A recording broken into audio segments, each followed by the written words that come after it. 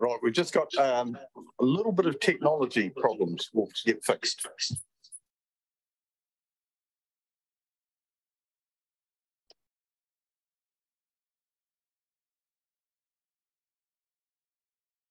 Okay, well, welcome everybody to this policy and strategy meeting. And I'd like to acknowledge that we've got um, two people on Zoom, Councillor Hill and Neil Lindsay. And I'd like to um, also Darren Palmer. Um, and just before we start, I'd like to uh, ask uh, Board Member Graham to come to the table and welcome her to the meeting. So I'm sure there's a seat there beside Councillor Dowler. She might. And Councillor McKenzie, would you like to open with Karakia, please?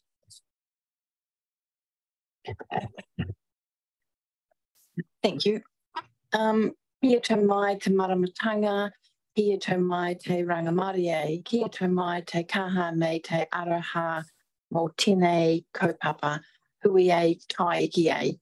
Let's be grounded in clarity, let's be peaceful, let's be strong and loving at this issue, bind together, and so it is. Thank you for that. So apologies, I've got an apology from Mayor King who's attending the Zone 5 and 6 uh, conference in Queenstown. No other apologies have been received, as I understand. Would someone like to move? I've got uh, Councillor Dowler, seconded by Councillor Butler. All those in favour, please say aye. Aye. Against? Carried. Um, my understanding is we've got uh, nobody in public forum and we've got a bit of a reasonably tight time frame because we're scheduled to do a workshop about Auckland communities at about 11. But if we're a bit late, it won't matter too much. So nobody there. Uh, any new declarations of interest? None. No late items. Confirmation of the minutes of the policy and strategy meeting on the 9th of March. Is somebody willing to move those? Councillor McKenzie moved, seconded Councillor Daikee. Did I get that right? Close. Um, all those in favour, please say aye. Against? Carried. Reports. So, oh, we'll do the confidential minutes now or at the end? What are we doing at the end? Yeah, we do them at the end because then we then we have to move. We don't have to move into confidential. All right, confidential minutes. We can do those now as well. So they were circulated. Would someone like to move the confidential minutes or a true and correct record? Move Councillor Dowler, seconded Councillor McKenzie. I'll put that. All those in favour, please say aye. Against? Carried. But look at that, I got a hint from my uh, advisor on the side there that that goes with that chairs training. Thanks, Tara. Right, um, the chair's report. I've commented on the um,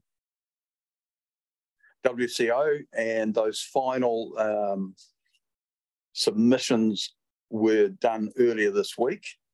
As I said, that's still sub judice, so I've said very little.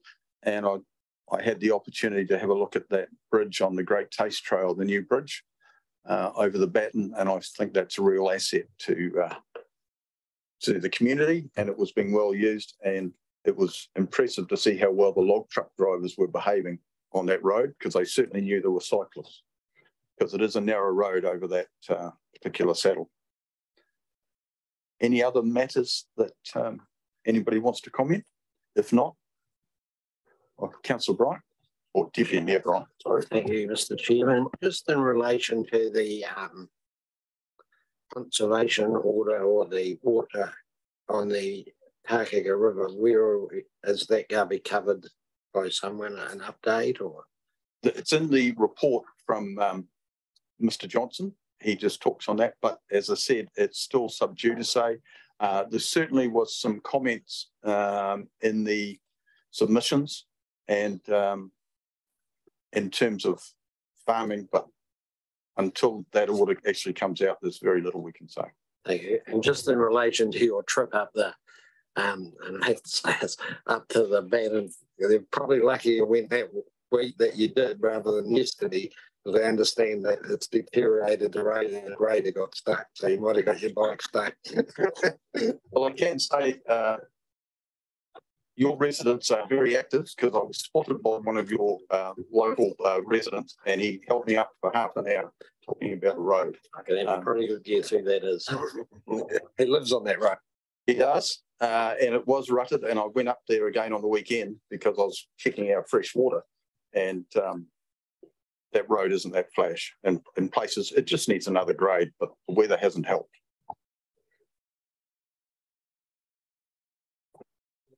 All right, so no other questions of my report. Would someone like to um, move that it be received? Thank you, Deputy Mayor. And uh, seconded, Councillor Maru. All those in favour, please say aye. Against, carried. Right, so presentation, we've got a presentation next. Um, Uh, yeah, that's at ten AM, so we'll start, we'll start with strategy and policy report. Yeah, presentation is due for ten o'clock on um, ground zero, and that was, that presentation was put in your pack to have a look at too, so um, it was certainly, I had a good look at it this week. So we start with you, Dwayne, and we've also got Diana. So the two of you are sharing it because um, Mr. Johnson is away this week. Gary Johnson's away. I think he's in Australia um, for holidays. Uh, so Diana's doing that and Dwayne's doing it. So who's going to do which first? Um, kia ora, thank you, um, Mr. Chair. Yeah, so Jeremy, Jeremy Butler is on, um, online as well as support with questions and as is Ellen and Walter in the background there to deal with any questions in relation to the area. In terms of, um, section three of the report related to, to my area, um, I'll take it largely as read, probably just point out two things. Um, the first is a heads up, the resident survey will be kicking off. Um, we're doing pilot testing in the next week and following that, um, it'll kick off in earnest for about a month.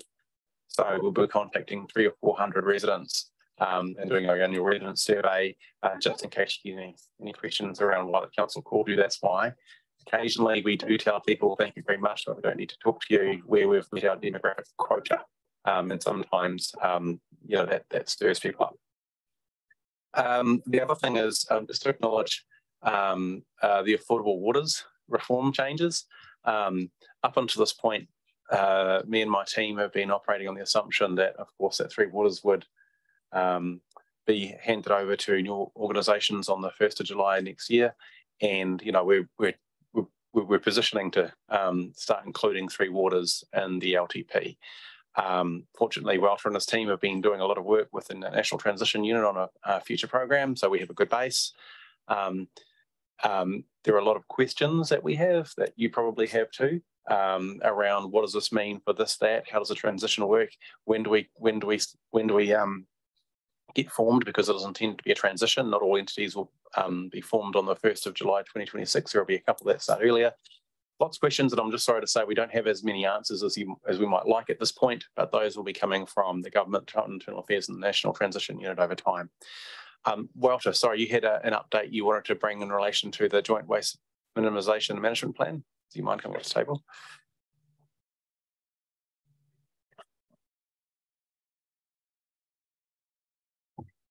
Yeah, I, I just wanted to um, acknowledge that we were working on um, a review of the joint um, waste management and minimization plan together with uh, Nelson. Um, that was also under the assumption that uh, new legislation would have been released last year. Uh, so we, we were waiting for that for some time. That has now been released um, uh, late last month. And uh, on reviewing, early review of that uh, information, we we recommend that the work on the on the waste plan is is delayed so that we have more time to understand the um, implications of the New Zealand wastewater uh, waste. I'm always thinking about water. Um, the New Zealand waste strategy and the implications on on our um, joint waste plan with Nelson. So basically, yeah, um, recommending a delay there to uh, take a bit more time. Right, so uh, Councillor Maru has got a question and Deputy Mayor Bryant. So Councillor Maru.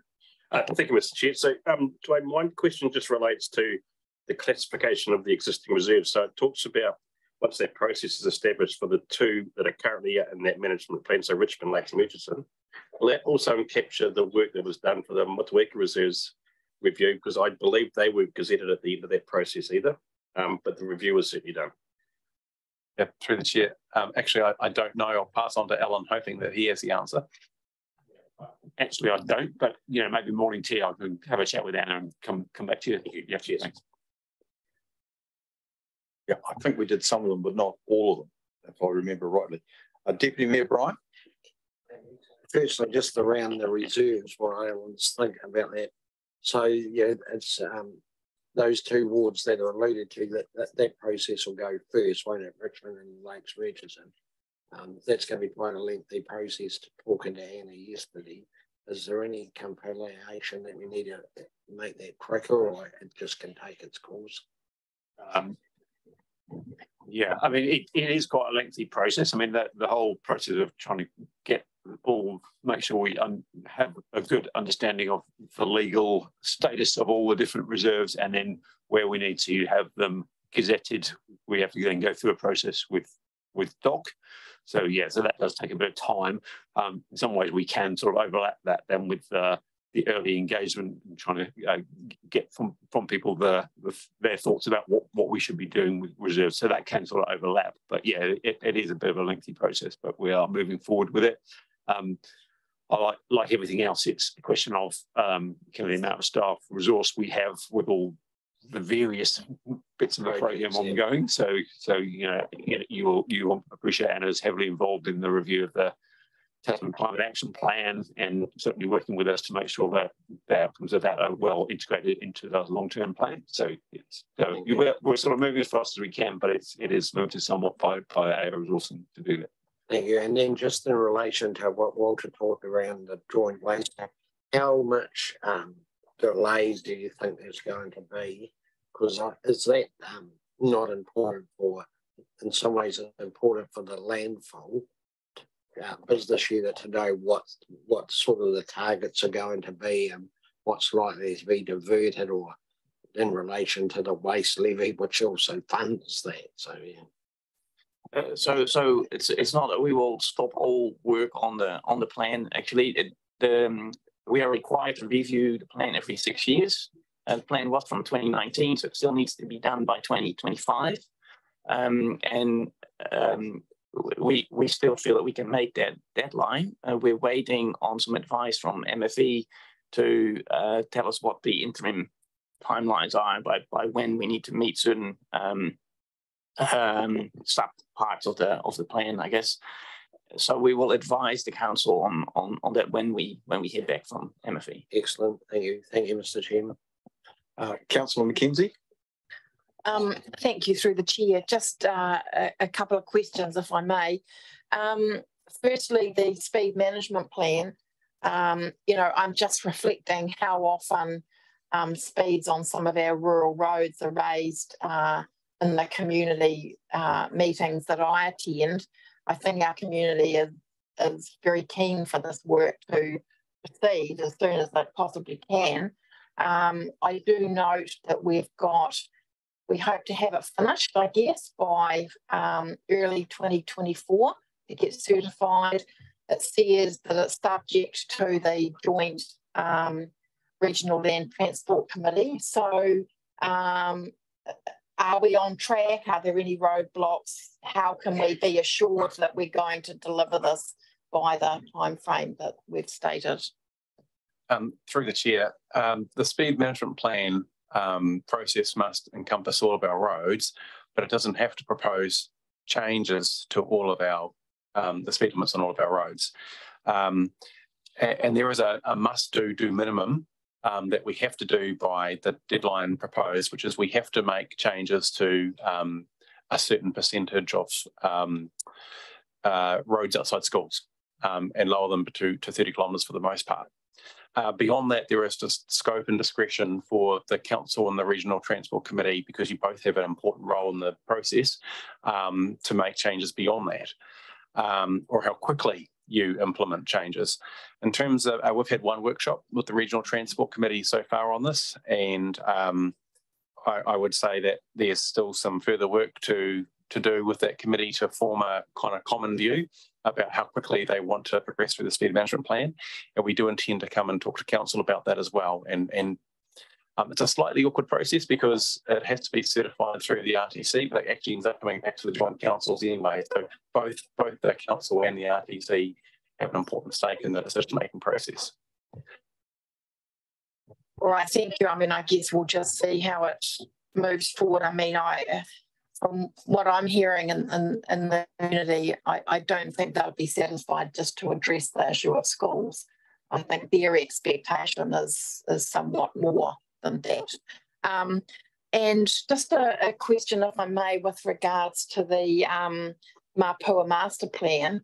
Um, I'm aware of the fact that, um, uh, you know, I am one of the councillors who's um, designated to go on to the steering committee. Um, I'm not sure that we've actually met yet. Um, and the report mentions the target completion date, December 2023. Um, where what's the next thing that we might see in relation to this body of work? Yeah, um, th thank you, Councillor. Um, I recall when we sought approval for this process, you predicted it might take longer, um, and I think it was prophetic. Um, one of the delays has been um, uh, sorting out a process essentially for getting iwi representation on the steering committee. Um, so, in fact, I think this Friday might be the day we've asked for nominations from the iwi representatives. So, um, we've just had a, we've only had a little bit of feedback so far, so we'll be chasing that. Um, essentially, that's the delay, making sure that we have full representation on the steering committee before the um, we form the first meeting. I've got Councillor Kininmonth. And then I've got Councillor Butler. Through you, Mr Chair, regarding the waste minimisation delay from you're getting get direction from MFE, is that correct? How does that affect our staff? Um, does that free them up, you know, to other jobs? Or you, you know, just give me a bit of a heads up of how that affects your team. Uh, yeah, thank you through the chair. Unfortunately, it doesn't free up staff. We're actually short on staff. So it's a bit of a relief for us that we um, can take a bit more time as well. Um, and, and that we'll be working towards that 20, 2025 deadline of, of having the review done. Right, Councillor Butler. You. Um, just another question about the waste minimisation plan. Um, just looking ahead and looking at our um, emissions report that we've got on our agenda today, uh, is are you anticipating that uh, we'll need to uh, start work on trying to reduce food waste or organic waste going into our landfills? And have we been thinking about that?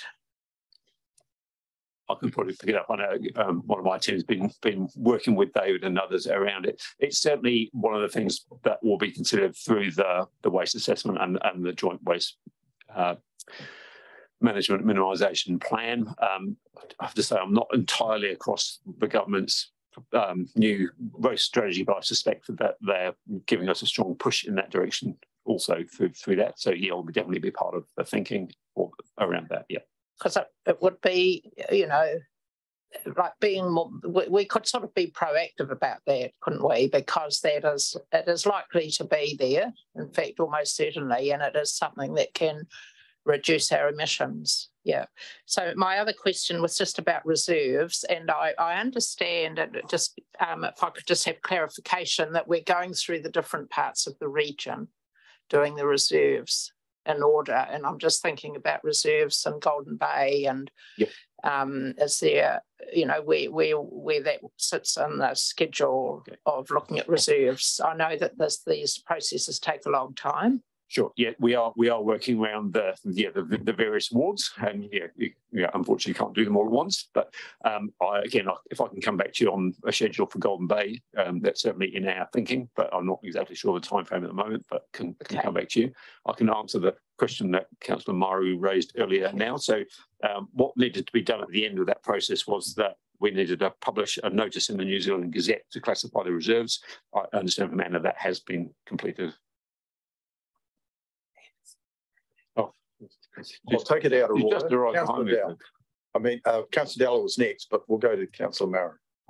Uh, So just confirming that the, the gazetting and all that was done for the reserves that were reclassified that were called reserves but weren't classified as reserves at the time of that review and Now, you might come to the table because it was your, um, your project. Uh, sorry, sorry for lateness. Um, yes, so uh, the chair, when we did that project, that was only focused on reserves that were existing reserves subject to the Reserves Act already. They were the only reserves we looked at and those, but we went through everything and found out which ones had already been classified and which ones hadn't. And the process was to classify those that had never been classified. So that's all we did. Yeah. Thank you, Anna. Uh, councillor Dalla.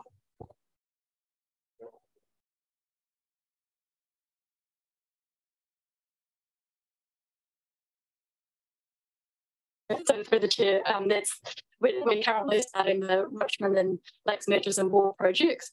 So that will take at least another year. And then the next, the last ward to do will be Golden Bay. So yeah, it just takes quite a while to do the research behind it. But yes, that's the next on the list after these two. Councillor Dalla. Yeah, I agree with what Celia says, but just um bring everybody to the, the new to the table up to speed. When we introduced the recycling bin and the bottle bin several years ago, we also tried to introduce a green waste bin. And the people of Richmond canned it because most of them complained that they didn't have room for a third bin. And because they are the biggest users of the service, it wasn't introduced. So just be aware if you try and throw another bin in someone's front yard, we might have the same people turning up here telling us no way. Interesting comment because there is a commercial provider that is providing those green bins and I use one um, myself. So I don't go to the, um, the, the landfill. It goes in a green waste bin picked up once a fortnight. So there is a service there already as part of Can Plan. Um, so, the, so that is happening. Well, uh, private enterprise can sometimes do things um, quicker and uh, cheaper than us. We need to acknowledge that. Diana, we'll move to you. I think that's all the questions. So, and Jeremy's going to help you if there's any things in relation to um, plan changes, as I understand it. Yes, that's right. Uh, So he's on. I see he's on Zoom up there. Mōrena koutou. Um, I'm filling in for Barry today because he's he's away on holiday. Very well deserved for the next three weeks.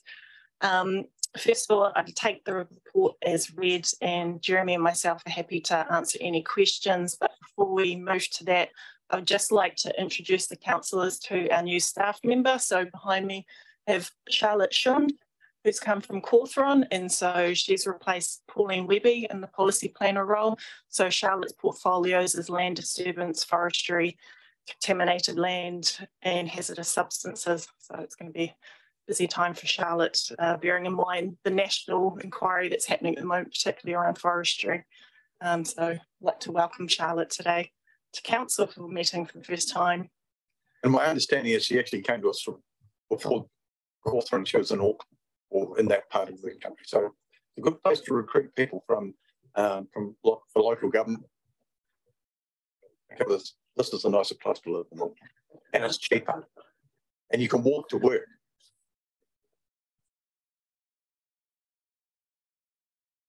Um, the report's there. Uh, if anybody hasn't got a question at this stage, I'll just ask about. Uh, I'll find it. oh, we'll, we'll start with Deputy Mayor Bryant. you- No, you start. So thank you, Mr Chair. Just uh, Diane, in relation to plan changes and the, um, we grind on with the plan change in Murchison. Um, another two or three months before we get it operative. Uh, some frustration was expressed that the long-term plan engagement around how long these processes are doing and how um, frustrating it is for those people. Is there anything that we can do to speed the process up? through the chair and Thank you, Deputy Mayor, for the question. I think it's quite helpful that, that we have that discussion and I appreciate the frustration from landowners who are involved, particularly with that plan change. Um, we have the issue in terms of, obviously we have our statutory timeframes, but plan changes are also reliant on council, I suppose, internal timeframes. And a good example is with the Murchison one, obviously we received the decision um, from the hearing in December but that decision then needed to come up to this committee for adoption. And unfortunately, um, the first committee of this year wasn't until early March. Um, and I think there was a bit of a, a, delay. Usually committees tend to start in February, but because of the elections last October, there was a bit of a knock-on effect. Um, obviously that committee has now adopted that decision and now we need to put it into the TRMP and that is quite a cumbersome process just the administration burden behind it. And we tend to do TRMP updates in batches of plan changes. So the current one, which the Murchison plan change would be included in, uh, staff are working to the timeframe of early December to get that notified. And along with the Murchison plan change, there's also plan change 73, the omnibus plan change. So the previous council recalled that's quite a complicated plan change um, to put into the plan because there were so many different topics around it. Um, so staff are trying to work in a timely manner. Obviously, we're limited by our own resources and that cumbersome process that we're having to work with. Once the update is notified in early June in relation to the Murchison plan change, we then go through that statutory 30 working day process for appeals. Um, so we can expect by mid-July um, we will see if there's been any appeals or not to the Environment Court. If there aren't any appeals, um, we can kind of take that as being operative.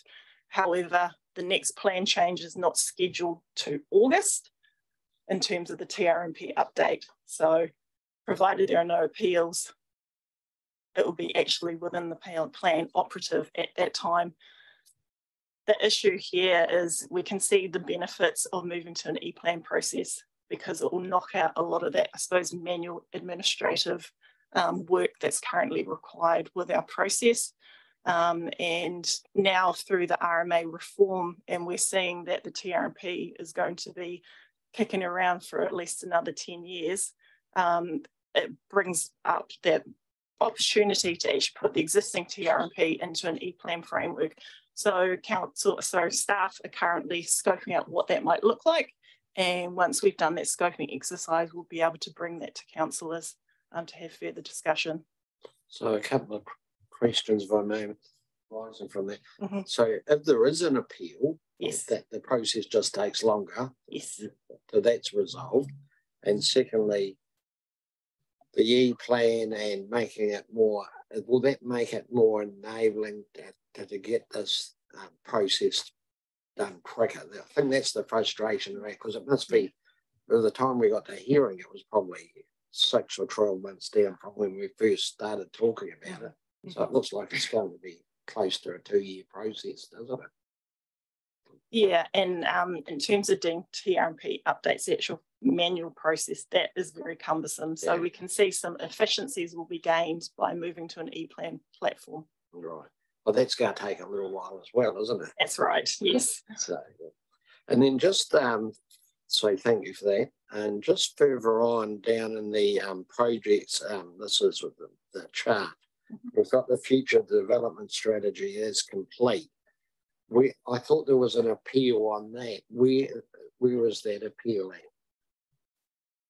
So my my understanding that's uh, legally privileged, confidential discussion at this time. Right. So is it operative or not? I guess is the because that's what you say from now operative implementation underway. Apologies if, if, if can repeat the question. I was chatting to the chair. well, the chair should know better than the not than the chat. it wasn't a chat. It was about some processes, Deputy Mayor. Um, the question is, the text says uh, the FDS 22 2052, FDS now operative implication, implementation underway. Where does that leave us in light that we're aware of an appeal? Um, uh, through the chair, uh, um, um, the FDS, the FDS is completed and it is our acting strategic document. The fact that, that there might be someone who wants to challenge aspects of it doesn't change that until such time as that process is completed and the court's fined against council. Right. My understanding is that there's a judicial review. Um, and I don't think that's a secret. And I'm going to ask Jeremy to just comment, but uh, I understood it was operative. Yeah. Mr. Yeah, Butler. yeah, thank you, Mr. Chair. Uh, yeah, that, that's all I was going to clarify is that it is a judicial review. Um, so it, it doesn't hold any weight um, until such time as a judge looks at that and will make a determination on the process, not on the outcome. So the so it's a judicial review to the High Court. The Environment Court's not involved. So a judge who'd be looking at that would only be looking at was the process fair um, and um, and appropriate. one one of the challenges here is that that there's very little in the way of um, clarity as to what an appropriate process is for an FDS. So uh, we're not not quite sure how they're going to determine that, but um, that yes, it certainly still stands in the meantime until such time as it's found that there was a um, an issue with the process, if that's the case. That's fine. Uh, I've got Councillor Walker and then I've got Councillor Dowler. Thank you, Mr. Chair. Um, just a point of clarification. Um, on the chart, it's got Robinson Road speed reduction. It's captured targeted completion dates third quarter 2024. I thought that uh, that was going to be 2023 Um, because we've already gone out and we're consulting. that, that is meant to be 2023. Thank you. Correct. Yeah. And there's one other little typo glitch is that today's deputy chair is not councillor Hill. If that could be altered too, thank you. That's correct. Thank you, Councillor. Councillor Dowler. Uh, and I just might comment in relation to that process. Uh, we need to go as quickly as we can for plan changes, but we have to follow process. Otherwise, it will come around and bite us. Because local government, if you don't follow the process, it will get you in trouble. Um, and as um, staff know very well, and I can remember having worked in central government, if you didn't follow a process, you lost. Uh, and it's not fun to lose. Councillor Dowler. I'm just going to refer to four point two four and four point two five. One's the Port Tarakohe strategic plan and then the Port Motueka strategic plan. Uh, in the four point two four, it talks about the fact that um, where is it? Uh, the project was presented to the Golden Bay Community Board at the third of April meeting. And you read the four point two five. And no part of that says that the report will be referred to the Motueka Community Board. So I'm just wondering whether that can be included, please, as part of the process. Through the chair, done yes, I can also. confirm we'll add that into the work program. Thank you. Right. So uh, any more questions of um, Diana? If not, could I ask for a mover to receive the report? Councillor Ellis, a seconder, seconder Councillor Murray. All those in favour, please say aye. Against, carried. Thank you, Diana. Thank you, Dwayne, for that. Now, uh, we've got now a presentation in uh, relation to, it says common ground here, but I actually thought it was slightly different. So Zola, Zola Rose, if you'd like to come up to the table, and I think the presentation was loaded on the system. So are you able to bring it up? Thanks, Tara. Um, so I think we've allocated 15 or so minutes.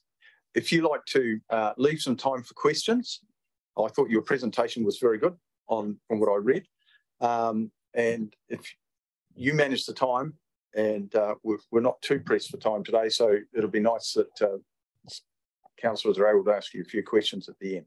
Thank you. That's great. Thank you. Uh, do I have this uh, switch thing or do I tell someone? Oh, yeah, that'd be good. Sometimes it doesn't always work. Uh, technology is not never my friend, but others might be much better. Great. Thank you. Thank you. I'm Zola Rose, and my enterprise is called Common Ground. I'm a community development and housing um, specialist, researcher, and consultant. Uh, so I've prepared this presentation for the council today as a means of uh, raising awareness and looking at where there are uh, where's potential opportunities um, and partnership. So the presentation is called Enabling Regenerative Housing Development as a Catalyst for Social, Ecological, and Economic Well-Being in the Tasman District. So as we know, we do have a lot of problems with our conventional housing um, in terms of environmental, a lot of emissions and a lot of waste. Um, also environmentally, we've got climate change causing flooding and slips with the way that we're um, designing our towns and cities. Um, our current mode of building is quite isolating with high fences and people feeling disconnected from their neighbors. And then, of course, we have the affordability issue of people resorting to caravans, uh, cars, and uh, sleeping in um, garages and that kind of thing. So we've got multiple layers of housing issues. Um, so we've been driven quite a bit by a conventional residential development mode, uh, by de developer driven, I would say um, which has landed and landed us with um, housing development that doesn't look like a living system. Uh, that would be on the left, what would be a typical conventional residential development. Can't really see the life in that space. And I would like us to move our narrative, our paradigm to a more regenerative residential development that really values living systems, human life, um, ecological life, um, and that is more sustainable as well. And it can also be more affordable. Uh, so regenerative development, uh, just to give a little um, brief definition, um, it enables people to understand themselves and the places where they live as complex, evolving living systems. It designs and creates new ways of living in harmony with those systems and create systemic solutions that have multiple layers of social, ecological, and economic impact intergenerationally. And then the other uh, part of housing, which has been missing in Aotearoa, um, except for the Papakainga approach, is uh, collective and community-led housing. It's a sector that's quite large in the UK um, and in the US and in Europe, but we don't really see it here. Um, and that's where there's opportunity for partnership. It's um, that missing middle that you might have heard that term. It's a demographic that is uh, at the moment an increasing uh, group of people who uh, cannot afford the market and who are making perhaps a little bit too much to be served by social housing. Um, it, re does mean that it, it requires meaningful community engagement and consent throughout the development process with the groups of people uh, who want to be building their own homes. It usually is a local community group or an organization that owns, manages, and stewards the homes in a manner of their choosing and benefits to the local area and specified community must be clearly defined and legally protected in perpetuity.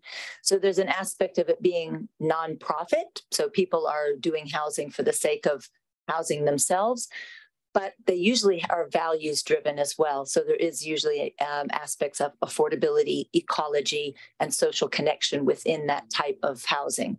You'll see those values come through in the types of neighborhoods that people end up developing when they're given the agency and the assistance to develop um, on their with their own uh, guidance. So an example in the UK is an organization called Community Led Homes. So this is that missing middle sector and with the support of the government, both uh, central and local government, um, this particular uh, research um, conducted shows that there's 499 community-led housing projects that have already been completed. These are projects, so these are basically neighborhoods, um, which is about the equivalent of 26,799 homes. And underway are 895 housing projects uh, with 21,722 homes to be completed in the next 10 years. So that's a sector that we don't have in this country at the moment. We've got looking at what is social housing building or kainga ora, what is developers, what are they trying to build? And we've, we're losing a lot of the potential that we have to develop a whole bunch of housing if we are looking to do that in partnership with community-led groups. So our conventional paradigm of housing development is quite degenerative. Um, it is designed for the car, working commercial areas are driving distance away, food is growing far away, it's dependent on centralized infrastructure, has linear water waste and energy systems, is profit and investment driven, has limited to no future future resident input, the people who will be living there. Uh, it's built for the ease of consenting. It's financed um, because of its limiting risk. Uh, land is considered an inanimate object. It's just a piece of property. Uh, it values only one form of capital, which is economic or financial. And the design really ends when the residents move in. We need to really move to a living systems approach that is regenerative with the way we do housing. What that means is that we look at housing that is designed as a living system with the land and the people. Working commercial areas are walking distance away. Food is close to kitchens. There's localized infrastructure for uh, water, energy, and waste. Housing is seen as a human right, inclusive of future residents' inputs and needs. It's built for long-term resiliency. Uh, the, it's financed uh, looking at affordability. Land is a living system. It, the values are also those other forms of capital, human, social, and natural. And the design takes into account evolutionary living systems. So there's many different forms that this can take. This is just a few photos that I have found from suburban looking, where you've got attached housing, to eco villages, where they're more spread out. So you can do this inner um, in an urban area or in a rural area. Uh, this is the Petersboro Housing Cooperative in Christchurch, which is um, serving many families um, affordably. It's running itself like a cooperative. So some of the housing types that we see are co-housing, or you might have heard of these in the news, or maybe you've even visited some. We don't have too many um, of these because of legislation and financing has been really restricting these um, projects actually from getting either underway or finished. So co-housing, uh, the most notable of that is Earthsong. Uh, cooperative housing, we don't actually have legislation in this country that allows cooperative housing yet eco villages, agri-hood, which is the focus of food, uh, tiny home community, which is something I'd really like to help to enable in our region, pocket neighborhoods, which is maybe the way you grew up in, uh, you know, with the cul-de-sac, and then ecological land cooperative, which helps to redevelop rural land uh, with a food focus. And then we've got community land trusts, CLTs, and inclusionary housing zoning. Those two work really well together. The CLT, um, the council really does enable this. If you look at the UK, the best examples are where the council has been an active partner to create the CLT. The main purpose is to um, preserve housing to be affordable for future generations so that um, in our current model, we've got housing um, affordable, but then when it changes hands to the next homeowners, it is sold on the market and therefore it, it loses its status as an affordable house. A CLT enables that. And then the inclusion, inclusionary housing policy, which you can see down in the Queenstown Lakes Community Housing Trust, um, makes land and funds available through the rezoning process to be used for affordable housing. So you might say, well, how are we going to get the land for the CLT? Uh, the inclusionary housing is the means to do that.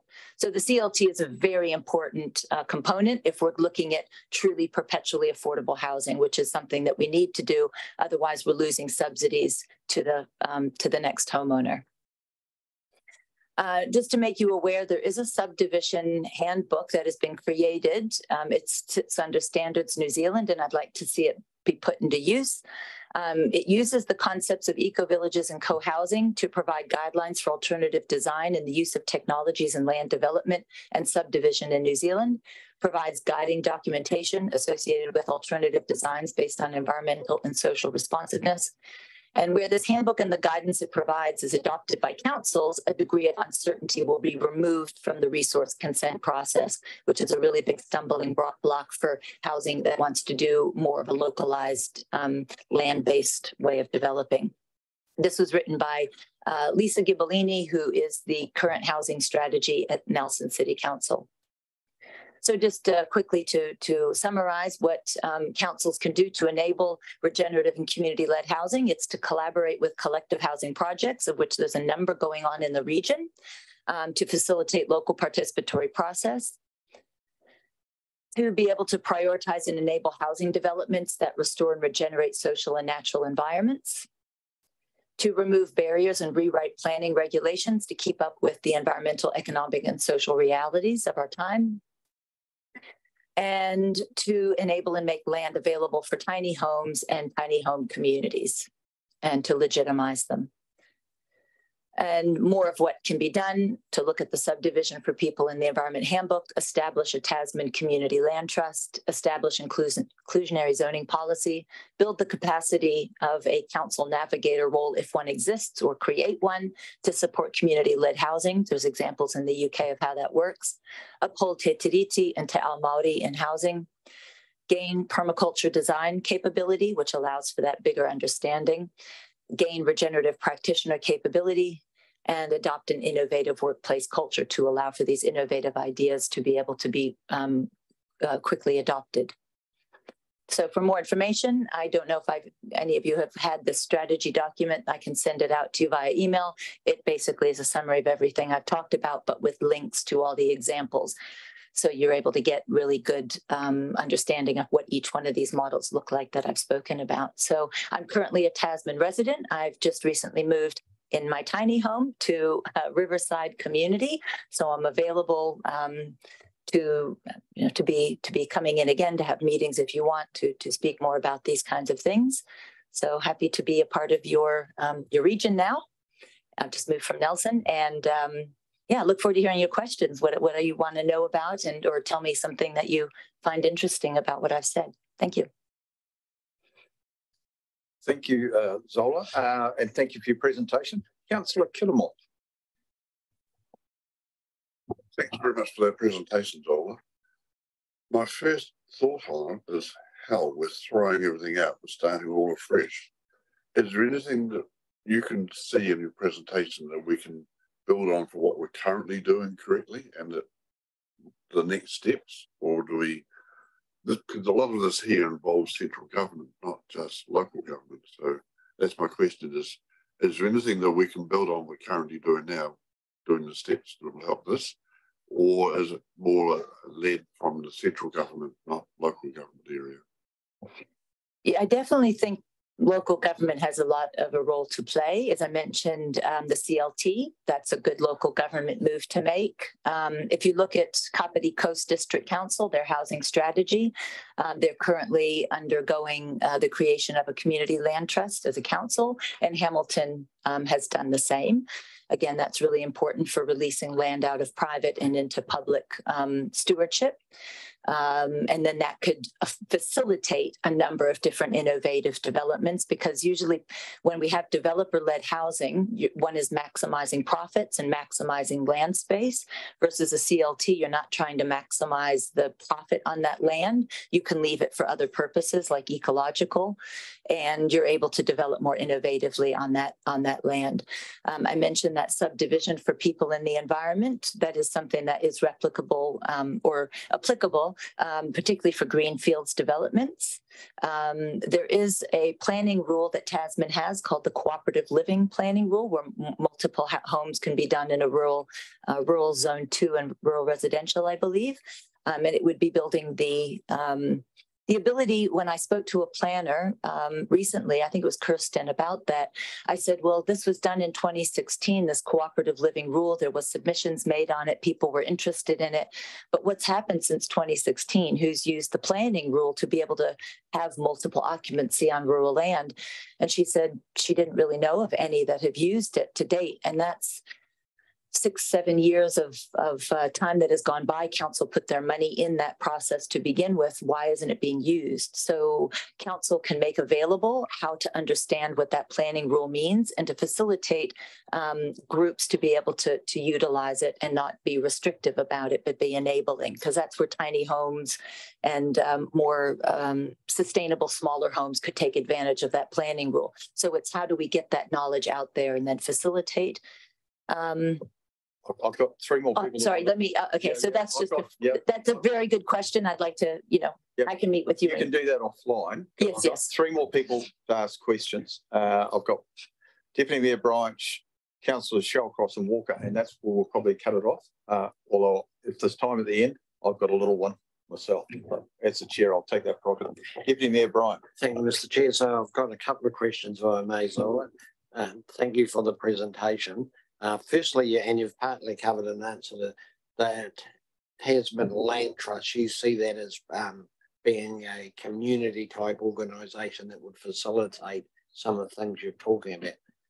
Um, do you see that be like a governance body or actually physically purchasing the land and actually doing what you're uh, advocating for? Yeah, so it is set up as a nonprofit. The way it worked in Hamilton was that there was a council person who sat on the board. Um, ideally, the board should be tripartite, some residential, some expertise, and then some representing of just the local community. Um, it can be region wide. So for the Hamilton one, they did make it the Waikato Community Lands Trust so that it has an option to purchase money. Central government gave Hamilton $2 million to purchase their first property, um, of which they're doing at the moment. It was ring fenced for Hamilton, but I suspect it can get um, more funding or donations in the future um, how Kapiti is doing it. It would be good to look at how they're um, going to be looking at what the role for the council is in that one. I've also written um, an 80 page document on how councils can create community land trusts specifically for Aotearoa. So I can make that available and you can kind of get a feel for the role that council does play within facilitating the establishment of a community land trust. So it isn't um, managed by council, but there is usually one person who sits on the board that acts as that intermediary. Thank you. I knew I'd be interested in seeing that document actually. Um, and then in the presentation you had about how councils can enable regenerative and community and remove barriers and rewrite plans. But at, before you come in, I had a little bit of a rant about how long it takes under the current process. So rewriting rules will take quite some time, and I'm not being disrespectful to anyone, but it's just how councils are. So it's, it'd be quite a long window to do that. Uh, uh, do you see that? Who would drive that? The other way to do um, taking an innovative project is to give it a short period of time based on sort of research of um, uh, let's see how this goes for five years. Let's just give it a try to see if this innovative kind of development is something that uh, we can trial to. So it's a little bit of a relaxing of for a particular project of the rules. Um, there's an eco village in the Netherlands um, that's um, working to uh, do the whole 17 sustainable development goals within that. And they got uh, a new zoning applied to it called the experimental zone. So they're allowed to do a lot of experimenting to be able to reach those 17 SDGs um, without having to constantly go back and re-ask for permission for every single thing. They do have a lot of partnerships, universities as well, so that data collection and research uh, component is there, which I do think is is important as well, so that it's not just any random group. It's actually got a bit of um, good research methodology behind it, but I think that that's very um, possible. Um, and I've also seen um, there's an interesting organization, Microlife in America, and they've been bridge building between groups and council to look at, again, for a specific piece of land, how can we create policy just for this piece to see how it works, and then is it replicable? All right, thank you. Thank you, Deputy Mayor. Councillor Shallcrass. Yeah, um, thanks, Zola, for that awesome presentation. Um, I was actually on a job site yesterday talking to a tiny home builder, actually, and about all the stuff. So it's good timing. Um, The um, tiny home communities, is there any of those operating in New Zealand yet you know of? There is the Tiny Home Hub, which is an advocating body. Um, in terms of communities, I'm actually um, coordinating what's called the Regenerative and tiny home development think tank. So we're really trying to get around policies um, that have to do with both developing land in a regenerative way and with tiny homes as being part of it. Um, PricewaterhouseCoopers is busy working with one of the members of the um, collaborative to be able to give sort of like an outline of legally what that's looking like. Uh, so they're kind of spearheading it that is in North Island there's not really any that are operating that I know of that are not like a trailer park that are actually proper communities with might have shared a lot of shared facilities that are um, intentionally designed. Um, I'm hoping that we're going to be the first. Uh, Nelson's also spearheading tiny homes as well. They're quite interested. I don't know whether you know, but they've allocated fifteen thousand dollars per tiny home within their um, housing reserve budget um, to any project that has tiny homes involved in it. So I would love to see something similar um, here in this council. But yeah, that that is. I am in a tiny home. I am a community development specialist. That's an area that I'm looking to. I'm learning a lot, and I'm looking to help to to enable something like that. Yeah, no, I definitely see an opportunity. It's something I'm quite keen on. Um, and I might catch up la- later on because this guy had some really good ideas, you know, because obviously he's building them. There's been a bit of a shift for this sound of it though, um, with the sales of tiny homes at the moment as well. You know, they're, they're slowing down, but he's got some really good ideas. So thank you very much. Yeah, well, that's the thing. People can't find land, or at least they don't want to be in somebody's back paddock. It's yeah, so we do need the land for the people. So it comes, it's a chicken or egg thing, really. I had a tiny home for months and I couldn't find land to put it on. I finally got in Riverside, which is a beautiful place for me to be. Yeah. Right, we'll move on to uh, Councillor Walker. And Yeah. the last question, other than I might have a comment, but I don't think so. Thank you through you, Mr Chair. Um, Papakainga model, how does that work? Like, does, are there some, some similarities with what they're doing to what you're looking at? Yeah, I think both the Papakainga model and um, the sort of collective uh, ownership of land is something quite challenging um, in this country because the banks don't like to finance things on the land. So Papakainga does have um, rules that are applicable uh, for them. What can happen on Maori land is different than what can happen on sort of mm, some other different communally owned land. But I would say that there's probably equal challenges, um, particularly regarding the financing. But I would say in terms of ideology or philosophy, there's a lot in common. So I would say a lot of the people who are interested in co- this collective housing ideas are very much aligned with a more indigenous worldview approach. Um, of the land, of care of people, of wanting to do a lot of sharing of resources and, and, and activities. So definitely there's a, a, a large crossover. It's just legally and financially, um, you know, there's differences between what can be done on Papakainga land and, and other land. Massive opportunity. Yeah. And you uh, you covered my point in that in relation to finance. Banks are difficult. We knew that. Um, when I did some work at the Waimea Village, first bank turned us down flat because it was it was a joint thing. So that will be one of the real challenges going forward. So I thank you um, for your presentation. I'm sure councillors through this you can um, get Zola's email and take stuff offline with her if you think there is something in your wards that particularly could help you going forward. So thank you, Zola, for your for your time and putting that together. You obviously, Councillor Shallcrass wants to touch base with you, and I'm sure someone from Michael Waker will as well. Um, Yeah, my website is commonground.net.nz. So you can even book a meeting with me easy. I have a button you push and it puts it in my calendar. So yeah, thank you very much for your time. I appreciate your questions as well. Thank you. Uh, Neil, uh, we've got you on Zoom, so if you could, um, we'll move to the report in relation to, isn't it our, uh, our council emissions?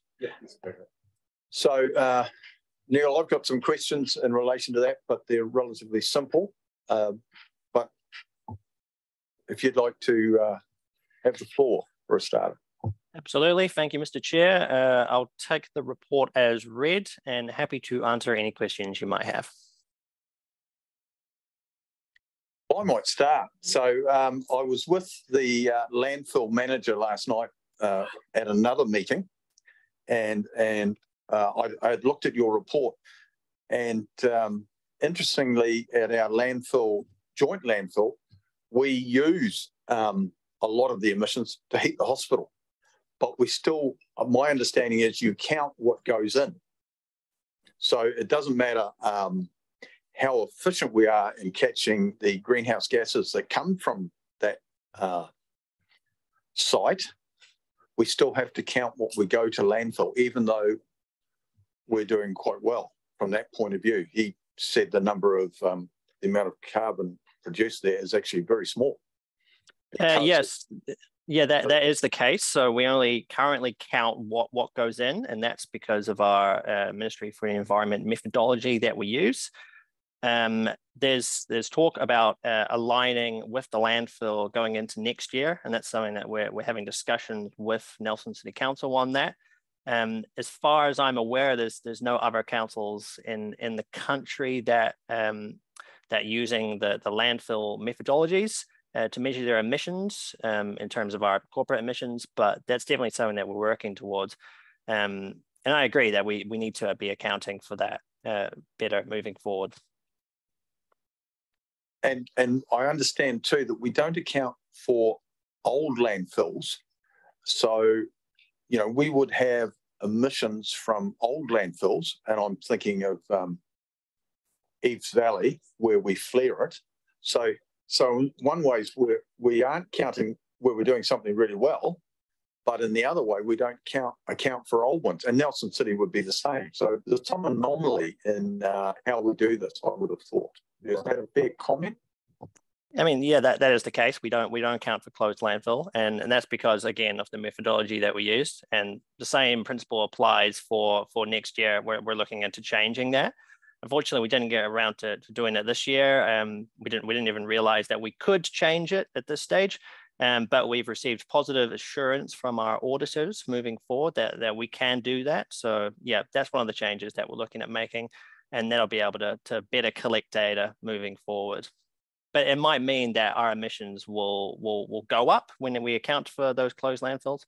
Um, but also we'll be able to better represent any of the reduction efforts that that we make. Okay, thank you for that. Um, I've got um, two people with questions so far, uh, Deputy Mayor Bryant and Councillor Mackenzie. Thank you, Mr Chair. So just to follow on from that, the Chair, Neil, um, I'm at 7.6 in your report um, where you talk about we have an active waste minimisation pro, minimisation program, which I don't have any problem with. But the, just around the approximately 50% of all waste currently received at the landfill is organic.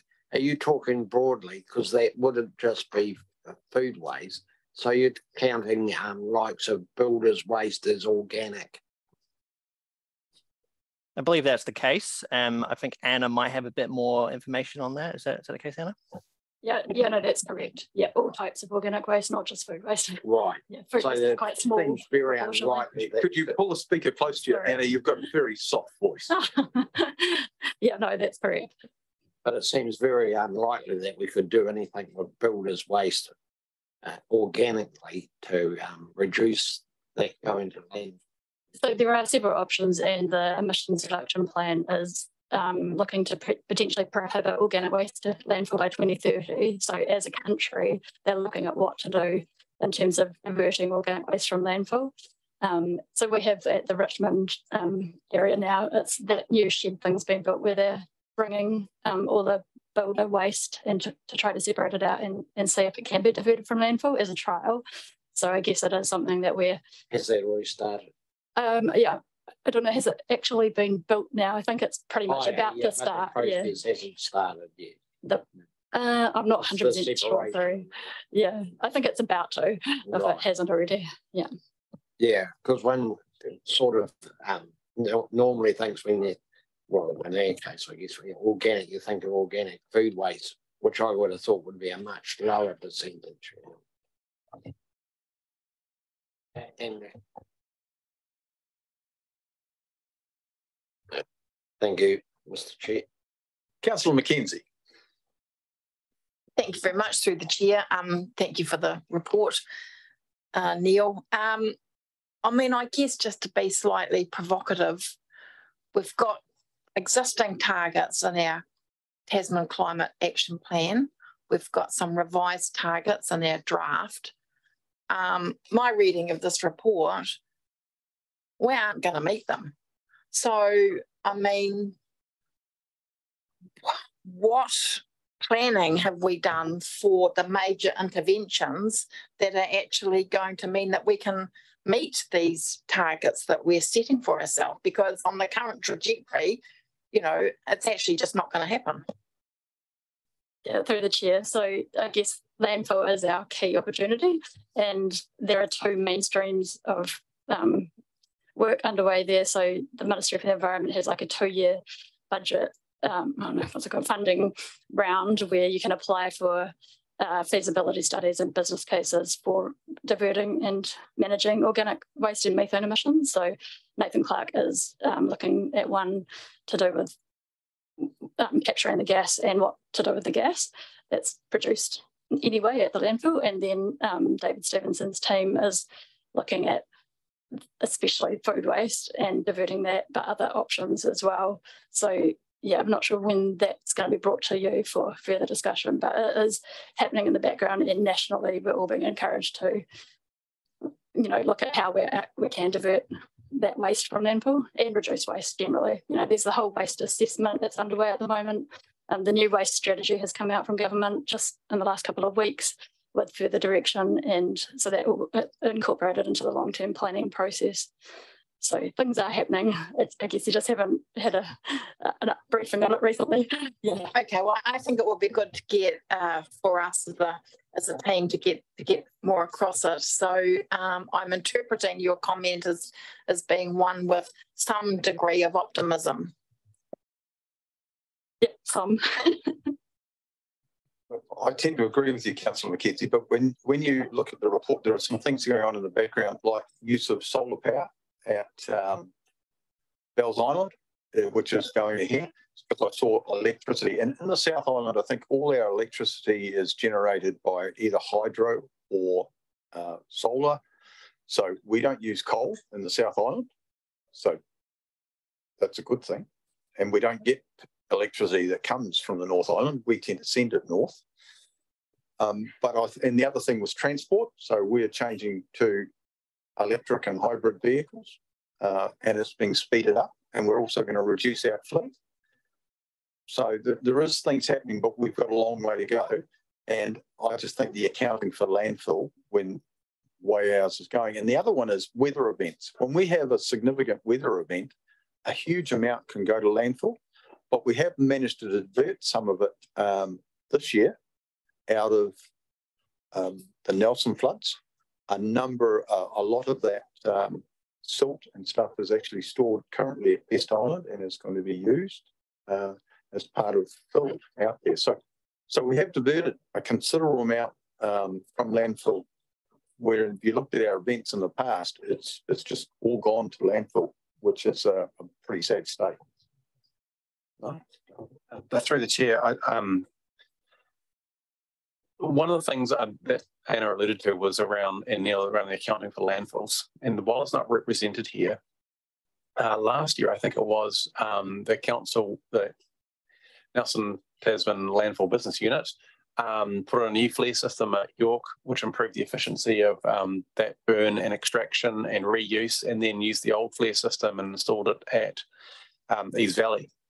And um, you know that that um, that is not accounted for adequately here, but um, that the amount of CO2 equivalent emissions from recollection, and it'll tell me if I'm wrong, was something like 80,000 cubic tons a year or something in that order, which represented something like 15% of our regional transport emissions, not council's transport emissions, but regional transport emissions.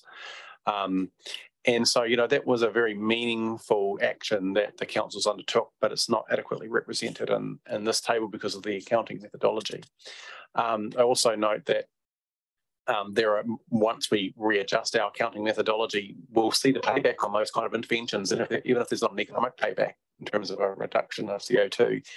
And in the future, um, you know, the intention is that you'll see here that our suppliers' transport fleets and our own transport fleets make up the next largest component outside of wastewater. I'm assuming wastewater goes to another party, so that'll be their problem in the future. But um, so there are there are definitely opportunities in the wings to reduce it further. Um, just because it's only reduced a little bit and not on track from an annual perspective doesn't mean there aren't meaningful things going on. That's good to know. Councillor Dowler, and then I'll be looking for someone to move receiving the report. Yeah, okay. So I know of um, people that have tried to do a public-private partnership council over technology that's been introduced overseas, uh, reducing waste to oil through plants. Uh, this particular, one particular one I can bring to straight up is a person who wanted to take all our old tyres and he would, would have processed them at very little risk to council. All all the council really had to do was provide the tyres. He just needed supply to make it a viable business. Uh, he's still out there. He's still keen to go. Council Brian and I went to a, a workshop what, a year ago now and looked at a process that had been started in Christchurch that got flattened by the earthquake. That was at the sewer plant, wastewater plant down there that was going to process stuff. I've still got all the information at home. So there is technology out there that we could we could come into. Unfortunately, the one for Christchurch was needing a lot of money from council to, to go, but there are Nathan was looking at other plants overseas that are doing the same thing. So eventually, when that technology is finally adopted by councils, not us, just councils, uh, we're going to see a major difference. But it's just the fact of someone doing it first, saying that it's working and proving it's working, and everybody else will jump on board and it'll help the country. I'm happy to move. Thank you. Okay, if there's no more questions, I'm looking for a seconder to receive the report. Uh, seconded Councillor Butler. All those in favour, please say aye. Against? Care. Right, so um, I think that brings us to the end and we're pretty much on, on time. I know, and I was, I'm going to ask if Councillor Hill, are you still online, Councillor Hill? Of course, Chair. Would you like to uh, close with karakia for us, please? Yes, I'm happy to do that. Uh, Karakia tātou, uh, tawhiri maanga hua o te tai ao, mai a papa tōnu ki tākoto nei, ki a rangi nui e tū iho nei, tūturi whakamaua ki a tina, tina hui e, taiki e. So thank you, everyone. So that draws us to a conclusion. We've got a workshop. I think we should uh, have an extra five minutes. So we'll come back here at five past 11. How's that? And a cup of tea.